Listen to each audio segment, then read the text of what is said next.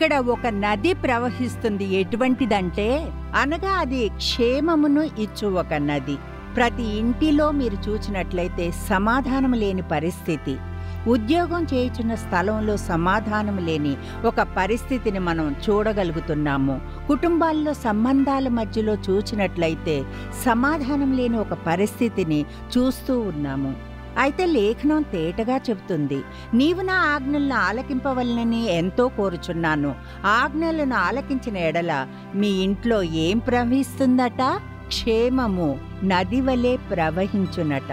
రెండవది ఒక నిబంధన నది అనే దాన్ని దేవుడు బయలుపరుచుచున్నాడు. క్రింద యోర్దాను ప్రవహిస్తున్నది అక్కడ యేసు వచ్చి బాప్తిసం పొందినాడు. తీసుకున్నాడు. ఇది నీటి ద్వారా ఇవ్వబడి మునిగి లేపబడిన ఒక బాప్తిస్మము. దీనికి సాదృశ్యమైనదిగా అక్కడ బాప్తిసము ఇవ్వబడింది. అలాగైతే అక్కడ ఒక జలపాతం ప్రవహించి ఉండాలి. అక్కడ ఒక నది ప్రవహించి ఉండాలి. ఆ నదిలో నీళ్ళు ఇవ్వబడి ఉండాలి. అలాగనగా అక్కడ ఒక నీళ్ళు ప్రవహించుచుండి ఉంటుంది. ఆ నీటి పేరు ఏమిటో తెలుసా? నిబంధన నది. యేసుక్రీస్తుతో కూడా మనము చేయుచున్న ఒక నిబంధన మూడవది ఒక నది. అది నీతి అను నది అని బైబిల్ చెప్తున్నది. ఇప్పుడు మనకు ఒక వచనం చెప్తేనే మనసులో గ్రహించలేకపోతున్నామయ్యా. అలాగన మనం గ్రహించిన వారైతే ఒక కాలం వస్తుంది. బైబిల్ లేని ఒక కాలం అప్పుడు ఏం చేస్తారు? బైబిల్ మనకు తెలియాలి కదా. మన యొక్క జీవ శ్వాసలో బైబిల్లోని మాటలు ఉండాలి కదా. దేవుని యొక్క మాటలు మన నోటి ద్వారా ఉచ్చరింపబడాలి. మన పెదవులతో ఎన్నో అనవసరమైన మాటలను మాట్లాడుతూ ఉంటాము. అవసరమైన మాటలు జీవం గల మాటలు సత్యమైన మాటలు నన్ను విడుదల చేసే మాటలు మిమ్మల్ని విడుదల చేసే మాటలు దేవుని యొద్దకు చేర్చు మాటలు మీకు దేవుని జ్ఞానాన్ని ఇచ్చే మాటలు కూడా ఇందులోనే కదా ఉన్నాయి. పరిశుద్ధాత్మ అడిగే ఒకే ఒక ప్రశ్న నువ్వు నీతిగా ఉంటున్నావా?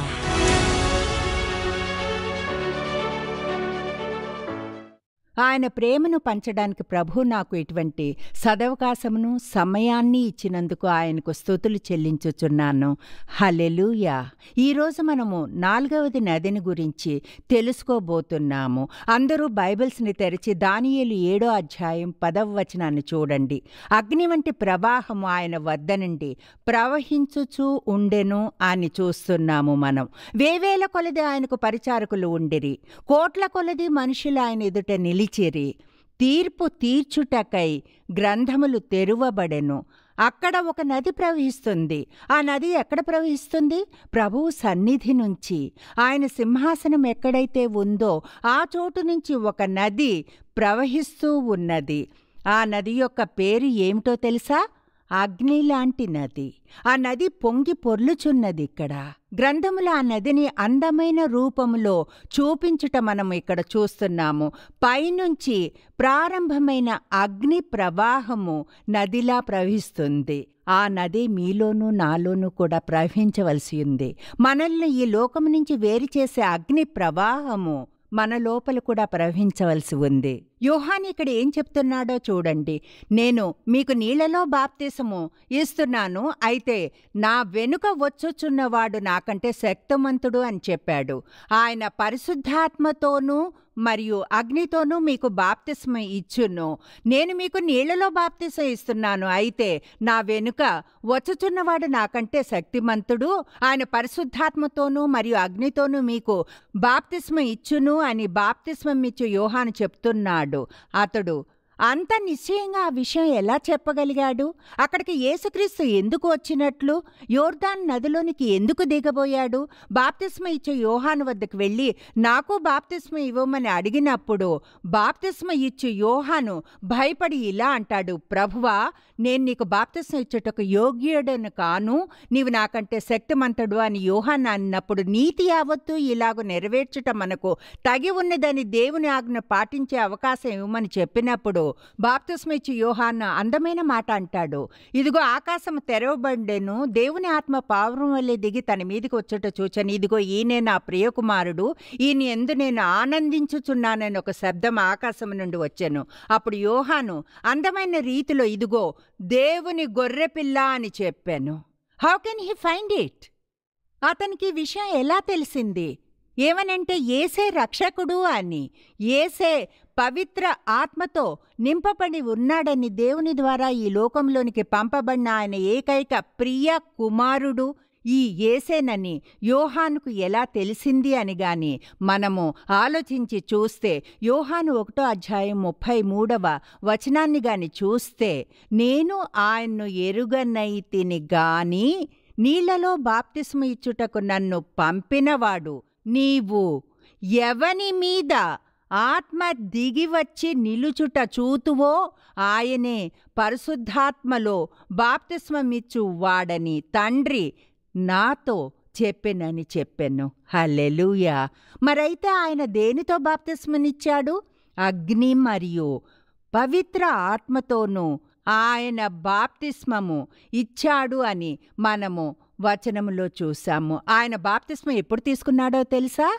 అపస్సుల కార్యంలో రెండో అధ్యాయం మూడు మరియు నాలుగు వచనాలను చూశారంటే అగ్నిజ్వాలల వంటి నాలుకలు విభాగింపబడినట్టుగా వారికి కనపడి వారిలో ఒక్కొక్కని మీద వ్రాలగా అందరూ పరిశుద్ధాత్మతో నింపబడిరి. అందరూ ఒక చోట కూడి ఉండిరి. అప్పుడు వేగముగా బలమైన గాలి లాంటి ఒక ధ్వని ఆకాశం నుండి అకస్మాత్తుగా వారు ఉన్న ఇల్లంతయూ నిండెను. వాళ్ళకి పాస్టర్ లేరు బిషప్ లేరు రెవరెండ్ లేడు బోధకులు కూడా లేరు. వాళ్ళకి అసలు వాళ్ళకు మార్గం చూపే వారే లేరు. వాళ్ళకి వెనుక ముందు అసలేమీ తెలీదు. అయినా వాళ్ళు నిరీక్షిస్తూ ఉన్నారు. వాళ్ళు అక్కడ వెయిట్ చేస్తూ ఉండగా అగ్నిజ్వాలల వంటి నాలుకలు. వాళ్ళ నాలుకలకు ఏమైంది? విభాగింపబడినట్టుగా వారికి అనుభూతి కలిగింది. టక్ టక్ టక్లా వాక్శక్తి అనుగ్రహించబడి వింతైన భాష అనుభవం కలిగింది. వాళ్ళు తమ నోటిని మూసుకుని ఉండలేకపోయారు. నోరు మూసుకుని ఉండడం సాధ్యం కాలేదు. వాళ్ళకు తెలియకుండానే అన్య భాషతో మాట్లాడసాగారు. ఒక కొత్త భాషను మాట్లాడసాగారు. వాళ్ళు తమ నోటును మూసుకోలేకపోయారు. ఒక అనుభవం కలిగింది. నాలుకలు విభాగింపబడినట్లు కనిపించాయి. ప్రతి ఒక్కరి మీద వ్రాళ్ళ ఒక కొత్త అనుభవము వారికి కలిగింది. పరిశుద్ధాత్మతో నిండిన వారై ఆత్మ వారికి వాక్శక్తి అనుగ్రహించిన కొలది అన్య భాషలతో మాట్లాడసాగరి. నా ప్రియమైన వార్లారా పరిశుద్ధాత్మతోనూ మరియు అగ్నితోనూ ఆ రోజే మొదటిసారి యేసుక్రీస్తు శిష్యులకు బాప్తిసము ఇవ్వబడినది. మీరు కూడా చెప్పండి ఆ అగ్ని లాంటి ప్రవాహపు నది మీలోను ప్రవహిస్తుందని. ఆ అగ్ని లాంటి నది నాలోనూ ఉండాలి. మీలోనూ ఆ నది తప్పకుండా ఉండాలి. అన్య భాషల ప్రభావంతో వివిధ భాషల ప్రభావంతో పరలోకపు భాష ప్రభావంతో మీ నాలుకలు అగ్ని జ్వాలల్లా విభాగింపబడి ఆ విధముగా పరిశుద్ధాత్మ అభిషేకము పరిశుద్ధాత్మ బాప్తిస్మము మీలో సృష్టించబడడం ఎంతో అవసరం ప్రియమైన వార్లారా. అది నాకు వద్దు అని ఏమాత్రం అనకండి. ఇది ఒక గొప్ప అనుభవం. దేవునితో మాట్లాడే అనుభవము. ప్రభువుతో మాట్లాడే ఒక అనుభవం. సాతానుకు అర్థం కాని భాష అది. ఎందుకంటే పరలోకపు భాష సాతానుకు అర్థమే కాదు. మీరు ప్రతిసారి ప్రభువా వీళ్ళకు ఇది చేయండి వాళ్ళకు అది చేయండి అని ప్రార్థిస్తూ ఉన్నప్పుడు సాతాను ఎంతో గమనించి వింటాడు. విని దాన్ని తారుమారు చేయాలి అని అనుకుంటాడు. ఎందుకంటే అది దేవుని చెవిలో పడకుండా ఆకాశమందు సంచరించే దుష్ట ఆత్మలు ప్రభువు వరకు ఆ ప్రార్థన చేరకుండా చేస్తాయి ఆపివేస్తాయి. కనుక మీరు పరలోకపు భాషలో మాట్లాడడం మొదలుపెట్టండి అన్య భాషల ప్రభావంతో పరలోకపు రాజ్యపు రహస్యాలను యేసు మీకు చెప్పినప్పుడు నాలుకలు విభాగింపబడినట్లు అగ్నితో అభిషేకం అనేది మీ లోపల ఉత్పన్నమవ్వాలని ప్రార్థన చేయండి. అదే అగ్ని ప్రవాహము. ఆ నది మీ నుంచి ప్రవహించినప్పుడు మీరు మారిపోతారు. ప్రభు ఆశీర్వాదం మీరు పొందుతారు. మీరుగా చేయలేని దానిని ఆయన మీ ద్వారా చేసి చూపిస్తాడు. మీకు ఎవరి మీద విశ్వాసం లేదో వారి మీద విశ్వాసాన్ని పెంచుతాడు. మీరు ఊహించిన దానికంటే గొప్ప కార్యాన్ని చేస్తాడు. మీరు కూడా చేయగలుగుతారు. హల్లే నా మీద విశ్వాసం వారు నాలానే ఆశ్చర్యకార్యములు చేస్తారు. నాకంటే కూడా ఎక్కువగా చేసెదరు అని. మీరు గాని ప్రార్థన చేస్తే మీరు ఆశ్చర్యకరమైన విడుదలను పొందుతారు. ఇతరుల కొరకు ప్రార్థన చేస్తే విడుదల పొందుతారు. మీ నీడ పడిన చోటల్లో ఆశ్చర్యకరమైన విధానాలు విడుదల కలుగుతుంది. హలెలూయా ఇది ఒక గొప్ప అనుభవం. అగ్నితో నిండిన నదీ ప్రవాహం మీ నుంచి ప్రవహించాలి. మీరు నడిచి వెళ్తుండగా ఊరాక కాకారమాన సీకా బలారియా రిబాబా బలా రీతు రీతు సీకా బలారియా అంటూ మీరు ప్రార్థన చేస్తూ గాని వెళితే దుష్ట ఆత్మలు భయపడిపోతాయి దురాత్మలు వణికిపోతాయి సాతాను తల వంచుకుని పారిపోతాడు. ఎందుకంటే మనం ఆయన సంతానం మనం వెళుతున్నాము. మనము నడిచి వెళుతుంటే సాతాను భయపడి పారిపోతాడు. హలెలూయా హలెలూయా పరిశుద్ధాత్మ దేవుడు. అటువంటి అగ్ని ప్రవాహాన్ని మీ నుంచి ప్రవహింపచేయాలని మీరు ప్రార్థన చేయవలసి ఉంది. ఆ తరువాత బైబిలు మరొక నదిని గురించి మనకు చెబుతుంది. కీర్తన నలభై ఆరో అధ్యాయం నాలుగో వచనాన్ని చూస్తే ఒక నది కలదు. దాని కాలువలు దేవుని పట్టణమును సర్వోన్నతిని మందిరపు పరిశుద్ధ స్థలమును సంతోషపరుచుచున్నవి. ఒక నది ఉందట. దాని కాలువలు దేవుని పట్టణాన్ని సంతోషపరుచుచున్నవి. అది యేసుక్రీస్తు కూర్చుని ఉన్న చోట నాలుగు వైపుల నుంచి ఆ కాలువలు సంతోషపరచుచున్నవి. అది యేసు నగరము సీయోను నగరపు నాలుగు వైపులా ప్రవహిస్తుంది. దాని ప్రవాహం ప్రభు యొక్క నగరాన్ని తడుపుతుంది. అది సంతోషాన్నిచ్చే నది. అంటే సర్వోన్నతిని మందిరపు పరిశుద్ధ స్థలమును పవిత్రముగా చేసి ప్రవహిస్తూ సంతోషపరిచే నది అది. మనం ఎన్నోసార్లు సంతోషాన్ని పోగొట్టుకుని కూర్చుని ఉంటాం. ఎన్నోసార్లు ఎంతో దుఃఖంలో ఉంటాము. ఎన్నోసార్లు మనం ఏడ్చి ఏడ్చి ఏడ్చి ప్రభువా ప్రభువా నా హృదయం పగిలిపోతుందయ్యా నేనిక సహించలేను ప్రభువా అంటూ ఏడుస్తూ ఉంటాము. కుటుంబంలో ఉన్న సమస్యలను చూసి జబ్బులను రోగాలను వాటన్నిటిని చూసి మనం మన పిల్లల్ని చూసి కన్నీరు కారుస్తూ ఏడుస్తూ ఉంటాము. నేను సహించలేకపోతున్నాను ప్రభువా అని. అయితే ఎన్ని సమస్యలు వచ్చినా ఎన్ని కష్టాలు వచ్చినా వాటన్నిటి మధ్యలోనూ నన్ను సంతోషపరిచే ఒక నది నా నుంచి ప్రవహించాలి. అదే సంతోషాలను ఇచ్చే సంతోషపు నది. ఆ నది పేరేమిటో మీకు తెలుసా? సంతోషాల నది. ఆ సంతోషాల నది గాని మీ ఇంటిలో నుంచి ప్రవహిస్తే శాంతి సమాధానము సంతోషము అన్నీ లభిస్తాయి. కీర్తనలు ముప్పై ఆరో అధ్యాయం ఎనిమిదో వచనం చెప్తుంది. నీ మందిరము యొక్క సమృద్ధి వలన వారు సంతృప్తిని పొందుచున్నారు. నీ ఆనంద ప్రవాహములోనిది నీ వారికి త్రాగించుచున్నావు. అంటే ఎప్పుడైతే ఈ నది ఆనందపు ప్రవాహం మీ ఇంటి నుంచి ప్రవహిస్తుందో అది మందిరపు మంచి విషయాలన్నింటినీ మీ ఇంటిలోనికి తీసుకొని వస్తుందండి. ఆయన మందిరపు సమృద్ధి వలన మీరు సంతృప్తి చెందుతారు. మీ దాహాన్ని తీరుస్తుంది. ఆ దాహం ఎటువంటిది? ఆత్మదాహము. అది జీవాత్మ దాహము కావచ్చును. జీవజలములను త్రాగడానికి ఆతురత చెందే దాహము. ఒక సజీవ దేశమునకు వెళ్ళి నేను జీవించాలి అని కలిగే ఒక దాహము కావచ్చును. ఆ దాహాన్ని తీర్చే ఆనంద ప్రవాహము మీ ఇంట్లో తప్పకుండా ప్రవహించాలి. నా లోపల ప్రవహించాలి. ఎన్ని కష్టాలు వచ్చినా సరే ఎన్ని సమస్యలు వచ్చినా సరే ఎన్ని పోట్లాటలు జగడాలు వచ్చినా సరే నా లోపల ఆనందపు ప్రవాహం కానీ ప్రవహిస్తే అది నన్ను సంతోషపరిచే నది అవుతుంది. అని గాని మీరు చేయగలిగితే ఆ నది మీ లోపల నుంచి ప్రవహిస్తుంది. హలెలూయా హలెలూయా అందరికీ బాధలుంటాయి కష్టాలు పడుతూ ఉంటారు. అయితే మీ హృదయపు లోతుల్లో ఎక్కడో ఒక చోట సంతోషం అనేది ఉంటుంది. నూతన బలం వస్తుంది ఉత్సాహం వస్తుంది క్రొత్తదనం ఉంటుంది సంతోషం ఉంటుంది పూర్ణంగా సంతృప్తి పొందిన అనుభవము. ఎందుకంటే ప్రభువు మీ నుంచి ఆనంద ప్రవాహమును ప్రవహింపచేసినప్పుడు మందిరం యొక్క పూర్ణ సమృద్ధి వలన మిమ్ములను సంతోషపరుచుతాడు. హలెలుయా హలెలుయా చూడండి యేసు మీ అందరి హృదయాలకు ఆ సంతృప్తిని ఇవ్వాలి. ఇప్పుడు బైబిలు మరొక నదిని గురించి చెప్తుంది. బైబిల్ చెప్తున్న ఆ నది ఏమిటంటే యోర్దాను నది. ఆ యోర్దాను నది దగ్గరకు ఒక వ్యక్తి వస్తున్నాడు. ఒక కుష్ఠరోగి అతని కుష్ఠ వ్యాధి వచ్చింది. అతడు రోగే. అయితే అతడు ఒక సైన్యాధిపతి. మహాపరాక్రమశాలి యోర్దాన్ నది దగ్గరకు వస్తున్నాడు. ఎలీషా ద్వారా పంపబడిన దూత చెప్పిన ప్రకారంగా యోర్దాన్ నదిలో ఏడు మార్లు మునగ్గా అతని దేహము ఏడవసారి మునిగినప్పుడు అతని దేహము పసిపిల్ల దేహము వలెనై అతడు శుద్ధుడవుతాడు అని మనం వచనంలో చూడగలం. అతను ఒక మాట అంటాడు అదేమిటో తెలుసా? ఏమంటే ఇక్కడ మన దేశంలో లేని నదులా అక్కడ ఉన్నవి ఇక్కడ నదులు శ్రేష్టమైనవి కావా? వాటిలో స్నానం చేసి శుద్ధి నొందలేనా? ఇక్కడ నదుల్లో లేని గొప్పదనం యోర్డాన్లో ఏముంది? What makes Jordan special? యోర్దాన్ నదిలో మునిగి శుద్ధుడైనప్పుడు అతడు సాక్షి చెప్తున్నాడు.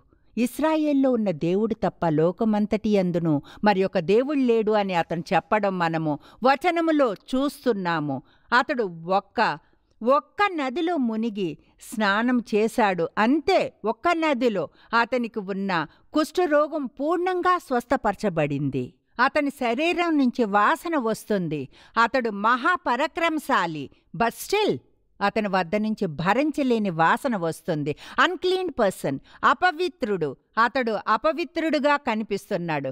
కనుక వాని నివాసము పాలెమునకు బయట ఉండాలి. ఆ కాలంలో ఎవరికైనా కుష్ఠరోగం వచ్చినప్పుడు వారిని గ్రామంలో ఉండనిచ్చేవారు కారు ఇంట్లో ఉండనిచ్చేవారు కారు అందరికీ దూరంగా పాలెమునకు వెలుపలకు బహిష్కరించేవారు. అతడు రాజు అయినా సరే మినహాయింపు ఉండదు. ఉజ్జయాను ఒక రాజు ఉండేవాడు. అతను ఎన్నో గొప్ప గొప్ప కార్యాలను చేశాడు. దేవుని దృష్టిలో అతడు ఎన్నో మంచి కార్యాలను చేశాడు. విగ్రహాలను తీయించివేశాడు దహనబలి పీఠాలను విరగ్గొట్టించాడు.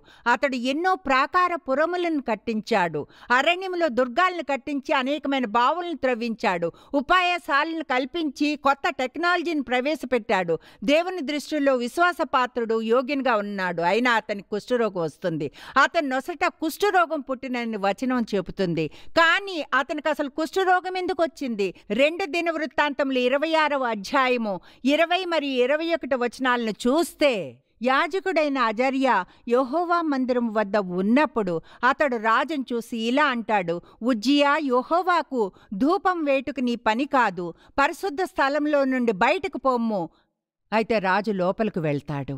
యహోవాకు విరుద్ధంగా పాపం చేస్తాడు. అందరూ అతని వైపు చూస్తూ ఉండగానే యహోవా మందిరంలోని ధూపము వేయి చోటనే అతడు నొసట కుష్టము గలవాడై ఉండెను. కనుక వారు తడువు చేయక అక్కడ నుండి యహోవా మందిరం నుంచి అతన్ని బయటికి వెళ్ళగొట్టిరి. యహోవా తన్ని మొత్తెనని ఎరిగి బయటికి వెళ్ళుటకు తానును త్వరపడెను అని వచనము చెప్తుంది. రాజు మరణించే దినము వరకు కుష్ఠరోగిగానే ఉన్నాడు. కుష్ఠరోగి అయి యెహోవా మందిరములోనికి పోకుండా ప్రత్యేకించబడెను కనుక అతడు ప్రత్యేకంగా ఒక ఇంటిలో నివసించుచుండెనని బైబిల్ చెప్తుంది. లెవీ కాండం పదమూడు అధ్యాయం నలభై నాలుగు నలభై ఐదు నలభై ఆరుని చూస్తే వాడు అపవిత్రుడై ఉండెను. కుష్ఠరోగం వచ్చిన వారు ఏం చేయాలో ఇక్కడ వచనం చెప్తూ ఉంది. వచనం చాలా స్పష్టంగా చెప్తుంది. He is a unclean unclean person ఇంగ్లీష్లో చాలా బాగా చెప్పబడింది. క్రై అవుట్ వాడు అపవిత్రుడును అపవిత్రుడును అని బిగ్గరగా పలకాలి. అతని వస్త్రాలు చింపివేయవలను. అపవిత్రుడును అపవిత్రుడు అని అంటూ విడిగా ఉండవలసి ఉంటుంది. వాడు తల వీరబోసుకుని తన పై పెదవిని కప్పుకుని అపవిత్రుడను అపవిత్రుడును అని బిగ్గరగా పలకాలి. ఏడవాలి అని బైబిల్ మనకు స్పష్టంగా చెప్తుంది. ఎందుకంటే యహోవా పాపము చేసిన ఒక మనుష్యుడిని కుష్ఠరోగిగా చేయడం మనము. ఇక్కడ వచనములో చూశాము. ప్రియమైన వారలారా యషయా ఒక ప్రవక్త. యషయా గ్రంథంలోని మొదటి అధ్యాయము పదిహేనవ వచనాన్ని నేను చదివి వినిపిస్తాను. మీరు మీ చేతులు చాపునప్పుడు మిమ్మును చూడక నా కన్నులు కప్పుకొందును. మీరు బహుగా ప్రార్థన చేసినను నేను వినను మీ చేతులు రక్తముతో నిండియున్నవి.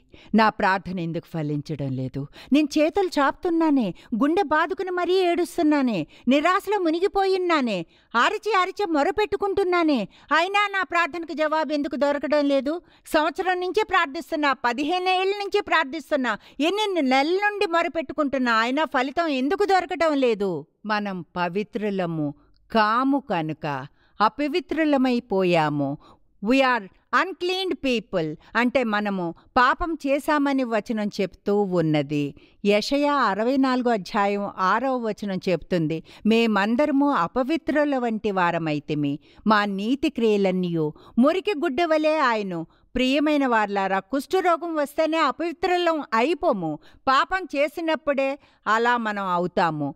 అపవిత్రులు ఎలాగునైతే దేవుని మందిరంలోనికి ప్రవేశింపలేరో ఆ విధంగానే మన నీతి క్రియలన్నీ కూడా మురికి గుడ్డలతో సమానం. మనం ప్రభువు పాదాల చెంత కూర్చుని ప్రభువా నాపై దయచూపు మాకు సుఖశాంతుల్ని ప్రసాదించు అని మనము ఎంతగా చేతులు చాచి ప్రార్థించినా మీకు తెలుసా మన ప్రార్థనను ఆయన విన్నడు. ముందుగా మన లోపల ఉన్న మురికిని పాపాన్ని మురికి గుడ్డలా ఉన్న మురికిని శుభ్రం చేయాలి. దేంతో చేయాలి? మిమ్మును కడుగుకొని శుద్ధి చేసుకోండి అని బైబిల్ చెప్తుంది. దేంతో కడుక్కోవాలి? డిటర్జెంట్తో కడిగితే శుద్ధపరచబడరు. అంట్లు తోమే సబ్బుతో కడిగినా కూడా శుద్ధపరచబడలేరు. ప్రభువు అయిన క్రీస్తు రక్తముతో కడగవలసి ఉంటుంది. ఆయన రక్తాన్ని మీలో నింపుకొని పూర్ణ హృదయంతో ఆయన్ని వేడుకోవాలి ప్రభువా. నీ రక్తంతో నా హృదయాన్ని నా శరీరాన్ని శుభ్రపరచు తండ్రి. నన్ను పరిశుద్ధుడిగా చేయి తండ్రి. తండ్రి నా నుంచి నీ ముఖాన్ని దాచకు. నా పాపాలు నీ ఎదుట తెరలా అడ్డుపడకుండా ఉండాలి తండ్రి. అందుకనే ఆయన జవాబు ఇవ్వడం లేదు. మన ఎదుట ఏమి నిల్చునుంది? మన పాపము నిల్చునుంది. మనం చేసిన పాపాలు మన ఎదుట నిల్చుని ఉంటాయి. మనం దుఃఖపడిపోతాం. దుఃఖపడడం పాపము అని మనకు బైబిల్ గ్రంథం చెప్తుంది. మనం దుఃఖపడుతూ ఉంటే యేసు మనకు ప్రత్యుత్తరము ఇవ్వడు. ఈ ఉదయం నేను పరిచర్యలోని ఒక సేవకురాలతో ఫోన్లో మాట్లాడుతున్నాను. ఇద్దరం మాట్లాడుతూ ఉన్నాము. యేసు మన ప్రార్థనలకు తప్పకుండా జవాబిస్తాడని చెప్తుంటే ఆ సహోదరి నాకు ఎంతో ముఖ్యమైన ఒక పనిని గుర్తు చేసింది. దుఃఖించడం పాపము అని ఆమె చెప్పింది. మీరు దుఃఖపడుతున్నారు మీరు శోకిస్తూ ఉన్నారు. మాటి మాటికి శోకంలో మునిగిపోవడం వలన ప్రభువు మీ ప్రార్థనలకు జవాబులు ఇవ్వడం లేదు. కనుక మీరు శోకానికి దూరంగా ఉండాలి ఆ దుఃఖాన్నంతా మర్చిపోండి. నేను రోగిష్ఠిని అని దుఃఖపడుతూనే ఉంటే దుఃఖపడుతూనే ఉంటే ఒక్క వీసంత కూడా జబ్బు నయం కాదు. కొంచెం కూడా మీకు మేలు జరగదు. కుటుంబంలో సమస్యలు ఉన్నాయా పోట్లాట్లు కష్టాలు ఉన్నాయా దుఃఖిస్తూ ఏడుస్తూ ఉండడం వల్ల ఎటువంటి ప్రయోజనమూ ఉండదు. బదులుగా దుఃఖాన్ని తీసి పక్కన పెట్టేస్తే ప్రేమైన వాళ్ళారా దుఃఖమే ఉండదని బైబిల్ చెప్తుంది. ఆ సహోదరి దేవుని సన్నిధిలోనికి వెళ్ళి కన్నీరు కార్చింది. ఆ తరువాత ఆమెలో దుఃఖమే లేదు. మరైతే మీరు ఏం చేయాలి? మీరు ఏసు ఎదుట కన్నీరు కారుస్తూ కన్నీటి ప్రార్థన చేయాలి. తండ్రి నాలో ఉన్న పాపాలన్నిటినీ కడిగివేయి నీ రక్తంతో నన్ను కడుగు తండ్రి. నీ రక్తంతో శుభ్రపరచు తండ్రి. నన్ను శుభ్రపరచు. ఈ రోజు నుంచి నేను దుఃఖించను. ఏడవను నీపైన విశ్వాసం ఉంచుతాను. ఈ ప్రార్థనకు నిశ్చయంగా యేసు బదులు ఇస్తాడు. నాకు నీతిని న్యాయాన్ని శాంతి ఆరోగ్యాలను అన్నిటినీ ఇస్తాడు అని మీరు విశ్వసించితే ఆశ్చర్య కార్యాలు అవంతటా. అవే జరుగుతాయి. ఎందుకంటే నెగిటివ్ ఎనర్జీ ఉన్న చోట అభివృద్ధి అనేది ఉండనే ఉండదు. ఆ సంతోషం ఉండనే ఉండదు. తాను విశ్వసించిన దేవుని ఎదుట లేని వాటిని ఉన్నట్టుగానే పిలుచువాడు. ఆయన దేవుని ఎదుట అతడు మనకందరికీ తండ్రి అయి ఉన్నాడు. మీతో పాటు ఉంటాడు. లేని దాన్ని చూసి మీరు ఉన్నవి నేను ఆరోగ్యంగా ఉన్నాను శాంతంగా ఉన్నాను ఆనందంగా ఉన్నాను సుఖంగా ఉన్నానని చెప్పి చూడండి. అవును చెప్పండి. నా కుటుంబంలోని సమస్యలన్నీ ఎప్పుడో సమసిపోయాయి. శిలువ మీద పెట్టి కొట్టేశాను. నా కుటుంబ సమస్యలను యేసు పటాపంచలు చేసేశాడు పరిష్కరించాడు. Start praising him. యేసుని స్థుతించడం మొదలుపెట్టండి. మార్గంలో ఎన్ని అడ్డంకులున్నా తొలగిపోతాయి. సాతాను మీ వైపు చూడను కూడా చూడడు. పారిపోతాడు. మీరు ధైర్యంగా నిలబడగలరు. మీరు విశ్వాసముతో నిల్చోగలుగుతారు. హలెలుయా రక్తం చిందించకుండా రక్తం చిందించకుండా క్షమాపణ అనేది ఉండదు. అవును రక్తం చిందించడం అనేది తప్పకుండా ఉంటుంది. నా యేసు నా కొరకు తన రక్తాన్ని చిందించాడు. నా పాపాలన్నిటినీ క్షమించాడు. ఇప్పుడు నాలో ఏ పాపము లేదు. నా లోపల ఏ మలినము లేదు. నేను అపవిత్రుని కాను. నా ప్రార్థన ఫలించుతుంది. తప్పకుండా ఫలిస్తుంది.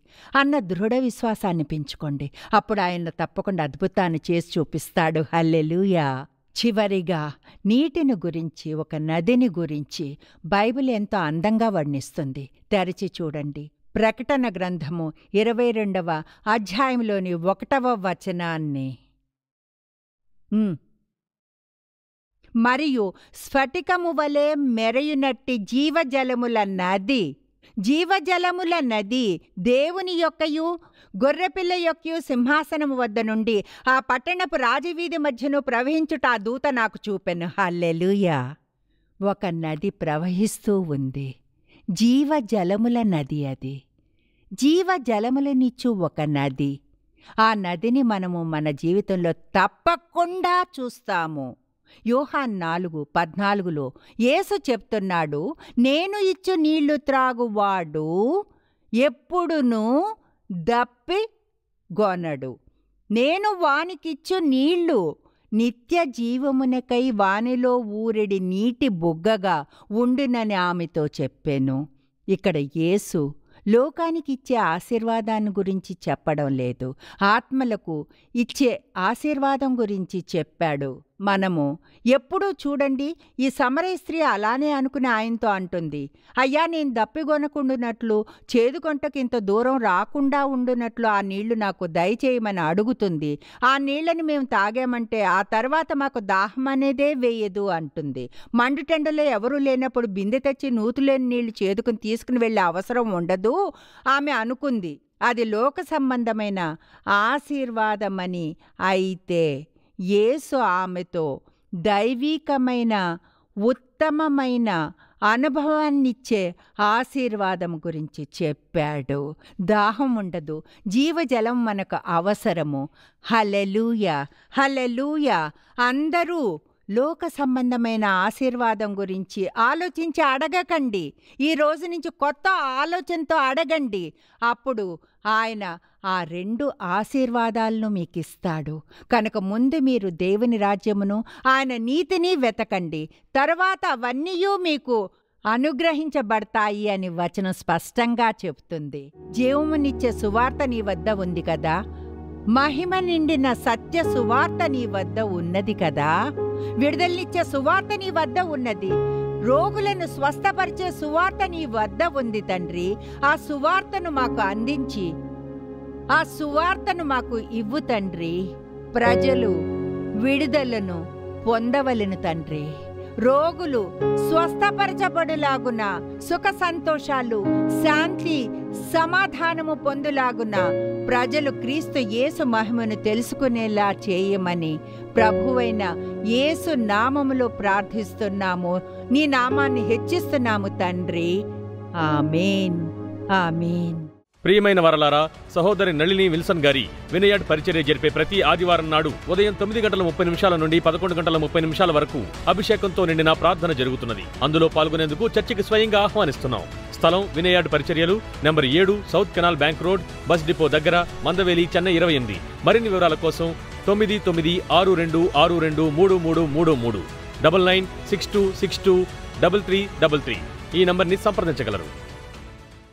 సహోదరి నళిని విల్సన్ గారి వినియాడ్ పరిచర్య జరిపే నిరంతర ప్రార్థన నాన్ స్టాప్ ప్రేయర్ ప్రతిరోజు పగలు పన్నెండు గంటల నుంచి ఒంటి గంట వరకు మిమ్మల్ని నిరంతర ప్రార్థనకి నేరుగాను ఆన్లైన్ గూగుల్ మీట్ ద్వారాను ఆహ్వానిస్తున్నాం. నేరుగా వచ్చేవారు నెంబర్ ఏడు south canal bank road bus డిపోకి అతి దగ్గరలో మందవేలి చెన్నై ఇరవై ఎనిమిది అనే అడ్రస్కు రాగలరు. ఆన్లైన్ గూగుల్ మీట్ ద్వారా వచ్చేవారు టీఏక్యూ జెడ్ ఎన్డిహెచ్ కేఎక్స్యు ఈ కోడ్ని ఉపయోగించి ప్రార్థనలో పాల్గొనాలని ప్రేమతో ఆహ్వానిస్తున్నాం St. John's Senior Secondary School. Admissions open from kindergarten to 12th standard. Admission now in progress. Nobel laureates are not created in huge research facilities but in a humble school labs. With the incredible success of the 50 Golden Jubilee years, let your child go on a journey of imagination and creativity. St. John's.